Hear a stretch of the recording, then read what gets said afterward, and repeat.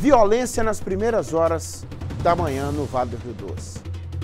Um homem morreu e outro ficou ferido depois de serem atingidos por disparo de arma de fogo.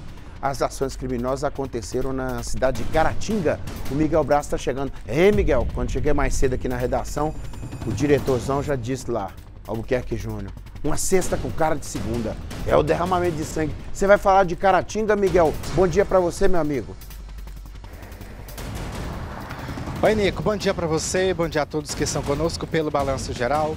Essas ações foram registradas no bairro Nossa Senhora Aparecida, em Caratinga. De acordo com a Polícia Militar, a vítima fatal foi identificada como Alex Gregório, de 19 anos. As informações colhidas pela corporação apontam que a vítima e a outra pessoa ferida saíam de casa para o trabalho quando foram surpreendidas por duas pessoas que chegaram de moto e atiraram contra elas.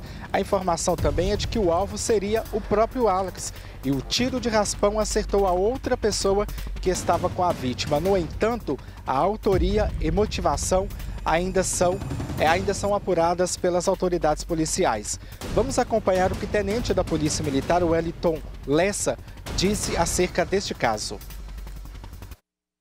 Foi feito o isolamento, acionamento da perícia e fomos informados que a, a vítima de 20 anos, o jovem de 20 anos, ele havia sido socorrido é, para o Hospital Nossa Senhora Auxiliadora. Com esse acionamento da perícia, né, chegando no local e fazendo o serviço dela, nós conseguimos constatar que se tratava de um rapaz de 19 anos, a vítima fatal se tratava de um rapaz de 19 anos, já com extensa ficha criminal, passagens por homicídios, tráfico de drogas, entre outras, e começamos ali a traçar as linhas de raciocínio em relação ao trabalho. Foram recolhidos pela perícia aproximadamente 20 é, estojos de munição .380 e foi verificado no corpo aproximadamente entre 15 e 16 perfurações. A gente está trabalhando algumas linhas, principalmente relacionadas a esses homicídios anteriores dele, é, para verificar ali as possíveis autorias.